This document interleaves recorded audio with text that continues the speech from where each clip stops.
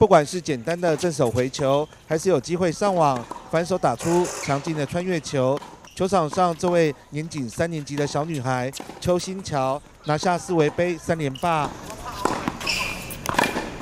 而另外一位小六生曾汪莹爆发力更猛。这一次的打法和以前不太一样，就是有属于比较稳定，所以我觉得打稳定一点的可能比较容易赢，所以我这次就照教练的指示打。上半身放松，然后力量来自于脚。好，等下我们注先先训练正拍，那以及等下反拍。小选手专心的聆听教练指导，而负责指导的教练也是大有来头，是国内前职业网球兄妹档陈迪和陈怡兄妹。这些比赛也让基隆的发展，我们可以看到就是长青组也更活络。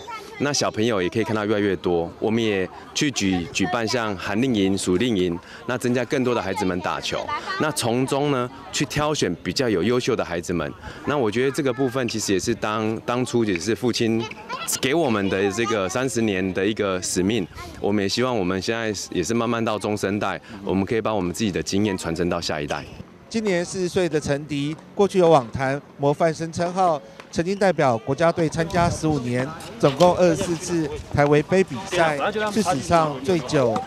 而小他三岁的妹妹陈怡，曾经被封为国内网坛漂亮宝贝，尽管已经转换跑道，成为金融市议员，但仍然持续栽培后进。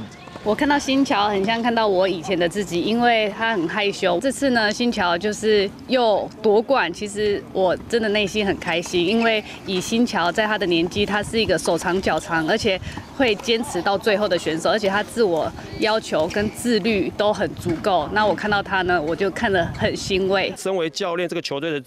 总教练，那我们的愿景就是希望这一群小朋友未来也是可以朝向我们的基隆前辈们，像陈迪啊、陈怡他们那些职业选手一样，希望以后也也是有可能达到他们那个成就这样子。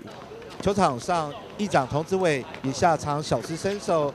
同样曾经受过陈迪、陈怡父亲魔鬼训练的他，对于陈迪、陈怡兄妹这几年培育不少基隆优秀选手，感到相当骄傲。我还记得我这个国一、国二的时候，也在这个我们这个陈老师的这个带领之下，也在这个中正公园，那时候是田径场那边打网球、训练网球。哈，那时候我们陈迪跟陈怡已经是国手，他们两个已经是国手了。哈，那我还记得这个魔鬼训练就是。